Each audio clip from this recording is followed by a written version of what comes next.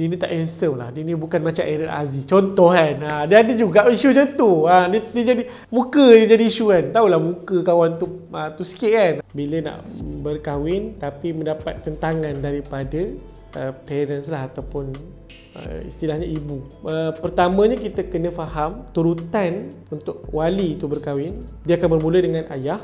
Okay, kalau ayah tak ada, dia akan pergi kepada datuk. Datuk tak ada, dia akan pergi kepada wali akrab. Wali akrab ni adalah adik-beradik kita. Bila wali akrab tak ada, baru pergi kepada wali abaat. Abaat ni wali jauh sikit. Jauh sikit ni paci-paci lah.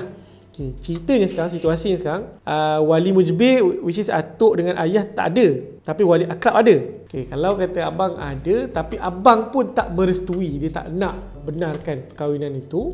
So, saranan kita ataupun cadangan kita, kebiasaannya kita akan terus majukan ke mahkamah. Dan kita akan buat satu permohonan untuk mendapatkan kebenaran berkahwin menggunakan wali hakim disebabkan wali akrab tu enggan kuasa wali akrab dia tidak macam wali mujbir. Wali mujbir dia berhak untuk kahwinkan perempuan tu dengan siapa yang dia nak wali akrab tidak yang mana permohonan ini bila kita bawa ke mahkamah mahkamah akan panggil wali yang sepatutnya nikahkan tu contoh eh abang dia ada tiga orang lah eh, kalau seorang tak nak kita boleh minta yang lain menjadi wali. Tapi kalau dah tiga-tiga semua tak nak, mahkamah akan panggil. Kita akan namakan. Biasanya kita akan namakan yang paling sulung lah untuk uh, jadi pihak yang merespon tuntutan tersebut. Tapi sebelum pergi ke mahkamah, biasanya dia akan pergi ke pejabat agama dulu. Pergi pejabat agama untuk siasatan. Dia siasat, kata okey sebab wali ni tak nak uh, ni disebabkan isu dia tak berkenan dengan saya punya pasangan dan sebagainya. Berkenan tak berkenan itu nombor dua. Yang penting aku nak kahwin. Benda tu halal kata kan. So bila tu maka uh, pejabat agama akan keluarkan satu surat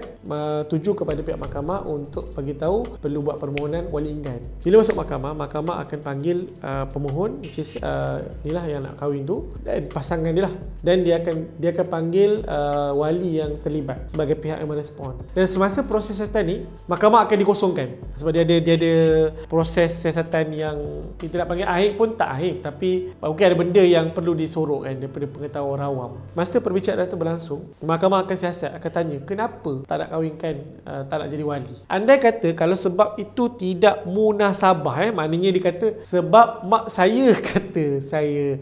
Tak perlu ni ha dan kami pun tak setuju dengan dia punya pemilihan. Mungkin biasanya faktor mungkin pekerjaan. Ada juga sebab isu dia ni tak handsome lah. Dia ni bukan macam Aaron Aziz. Contoh kan ha, dia ada juga isu macam tu. Ha, dia, dia jadi muka dia jadi isu kan. Tahulah muka kawan tu ha, tu sikit kan. Tapi ha, dia tak tahu orang tu banyak duit dan sebagainya kan. So itu antara sebab-sebab yang tak munasabah. Sebab-sebab munasabah macam mana? Mungkin dia wali kata saya tak boleh nak jadikan dia wali sebab kalau saya benarkan dia kahwin dengan adik saya saya dah tahu dia ni kaki pukul. Saya takut nanti kan adik saya jadi mangsa pukul. Ada bukti sebelum ni dah pernah kena pukul Lebam dan sebagainya. Tu sebab ibu nasabah Ataupun dia ni penagih dadah. Takkan saya nak benarkan dia kahwin. Masa tu mahkamah akan terima sebab tu. Bila sebab-sebab yang remeh-temeh macam tu Biasanya mahkamah akan benarkan perkahwinan tu berlaku Dengan menggunakan wali hakim. Sebab mahkamah dah tahu dah pendirian uh, wali yang sedia ada tu Tetap tak nak mewalikan tu. So jangan risau biarkan je. Minta je wali hakim. Mahkamah akan keluarkan satu perintah mengatakan perkahwinan apa permohonan dibenarkan pihak-pihak perlu berkahwin menggunakan wali hakim. Masa tu wali yang sedia ada tu dia takkanlah kata tak boleh perkahwinan itu tidak sah dan sebagainya. Tidak. Sebab keputusan tu datang daripada hakim yang mana dalam satu kaedah fiqh ada satu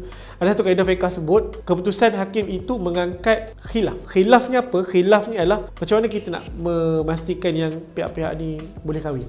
Wali akrab dengan hakim keputusan hakim lagi lagi mendahului pihak wali akrab. Cuma dalam borang tu, dalam borang kahwin tu kita akan kosong je lah kata uh, wali yang sedia ada ni tak tak nak bagi kerjasama so kita akan hantar pada pejabat agama bagi tahu je lah wali saya ni enggan menjadi wali sebab isu kena cerita lah sebab apa janganlah uh, ni kan kena cerita kata sebab isu saya punya pakar saya ni kerja biasa dan sebagainya. Kita boleh minta nasihat dalam situasi yang memang kita perlukan nasihat. Tapi dalam situasi yang keadaan macam ni kita nak solusi. Itu bukan nak nasihat, kita nak penyelesaian. Bila nak penyelesaian, bagi tahu je saya punya wali enggan, so saya nak proceed ke wali wali enggan. Dia ada wali dia ada uh, permohonan untuk wali enggan dan permohonan untuk wali yang untuk kes mualaf lah. Mualaf ni yang baru masuk Islam.